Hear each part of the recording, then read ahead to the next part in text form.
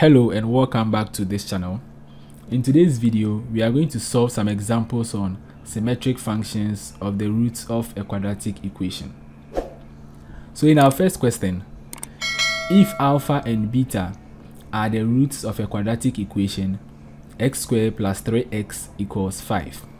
Construct an equation whose roots are alpha plus 1 and beta plus 1. So this is a very simple question, however it can look very complicated. Now we are going to solve this question. So to solve this question, we have been given a quadratic equation with the roots alpha and beta. And then we are asked to construct an equation whose roots are alpha plus 1 and then beta plus 1. So to solve the question, we are going to find the sum of roots and product of roots of this existing equation.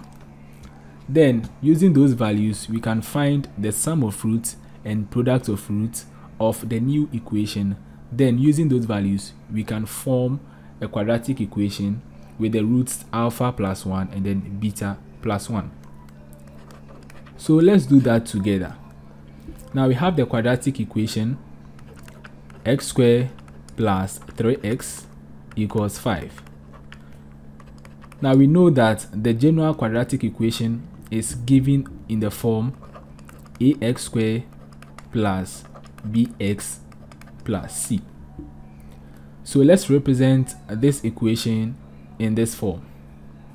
So we have x squared plus 3x and then we need to transpose 5 to the left hand side. So it becomes negative 5 equals 0. Now let's compare the two equations. So in that sense, our A is 1, B is 3, and then C is negative 5. So these are the values A, B, and C. So let's find the sum of roots and product of roots of this existing quadratic equation.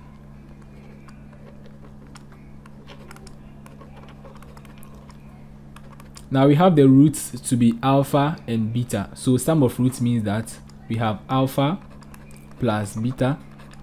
And from the previous videos, we established the fact that alpha plus beta, which is the sum of roots, is equal to negative b over a. So basically, we are going to substitute the values of b and a in here.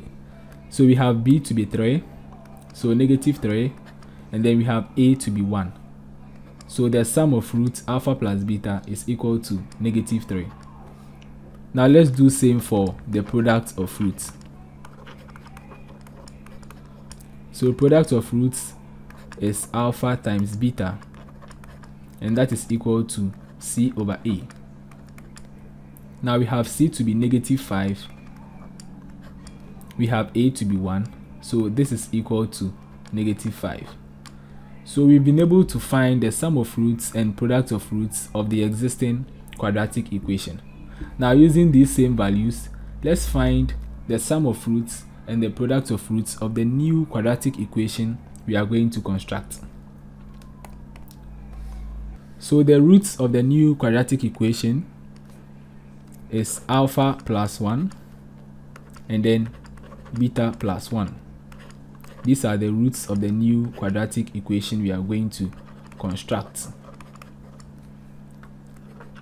So the sum of roots is going to be, we are going to add these two.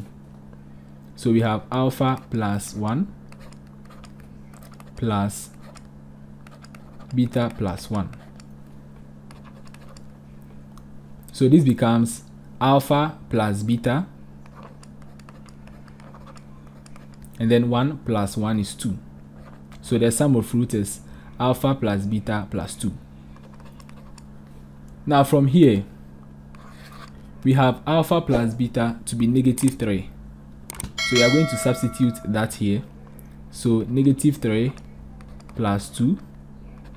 Negative 3 plus 2 is negative 1. So the new sum of roots the new sum of roots is equal to negative 1. Now let's find the new product of roots.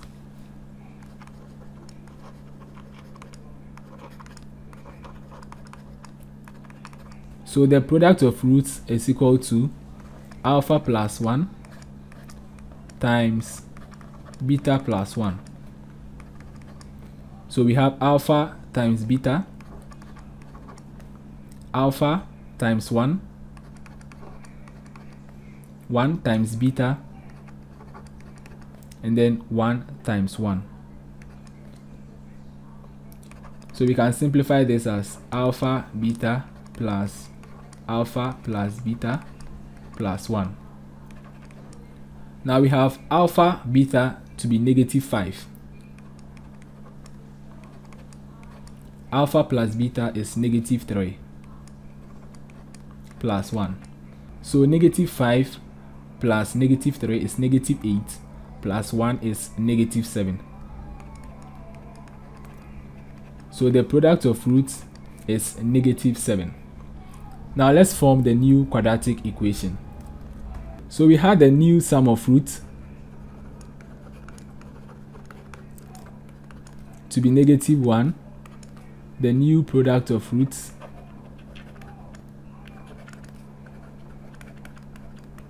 to be negative 7. And then we are going to construct the new equation, the new quadratic equation. So to construct a new quadratic equation, we are going to use the formula x squared minus sum of roots times x plus product of roots.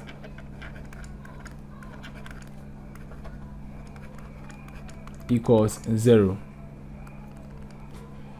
So we have x squared minus the sum of roots is negative 1 times x plus product of root is negative 7 equals 0.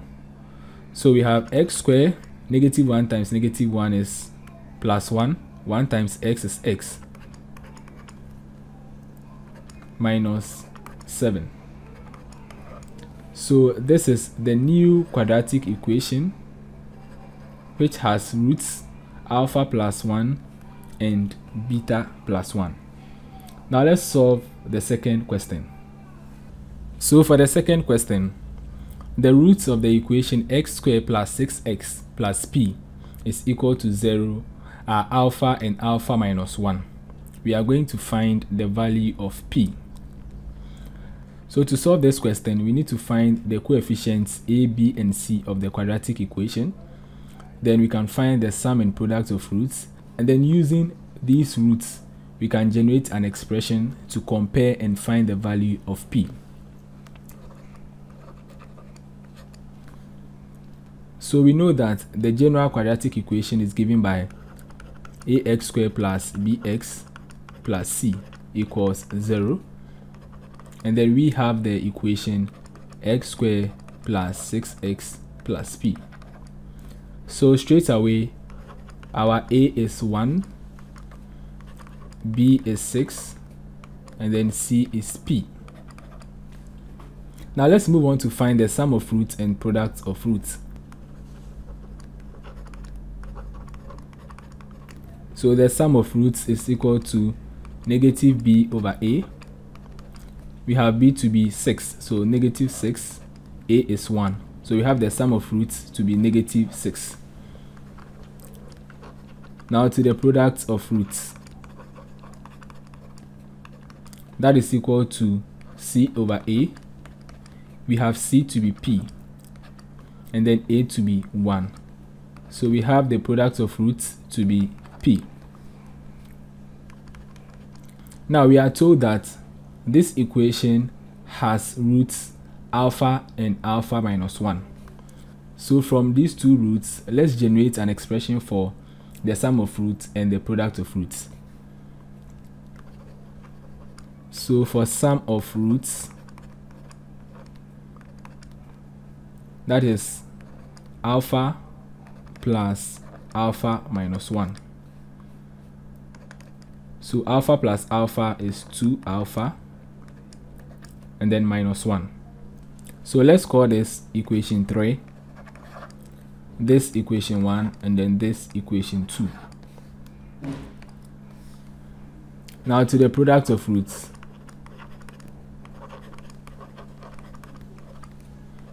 So we are going to multiply alpha and then alpha minus 1 so this is the expression for the product of roots. Let's call this equation 4 So here we have sum of root equals negative 6 and then sum of root equals 2 alpha minus 1. So we say equation 1 is equal to equation 3. So we have the sum of root to be negative 6. Yes, negative 6.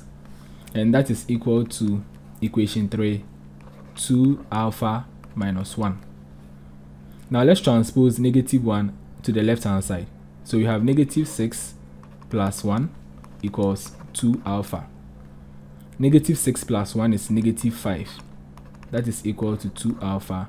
We divide through by 2 and then we have alpha to be negative 5 over 2 so this is alpha now since we are interested in the value of p, we are going to equate equation 2 to equation 4.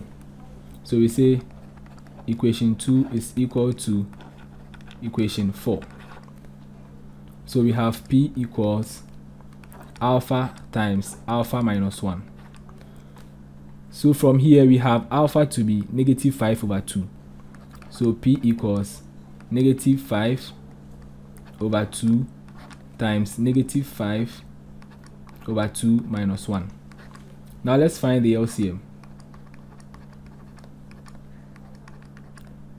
So we have the LCM to be 2. 2 divided by 2 is 1. 1 times negative 5 is negative 5. 2 divided by 1 is 2. 2 times 1 is 2. So we have this multiplied by negative 5 over 2. So negative 5 over 2 times negative 5 minus 2 is negative 7 divided by 2. So negative 5 times negative 7 is 35 and then 2 times 2 is 4. So we have the value of p to be 35 over 4. So that's it for today's video. Thanks for watching and see you in my next video. Do well to like the video, subscribe to this channel and share the video to your friends. Bye bye.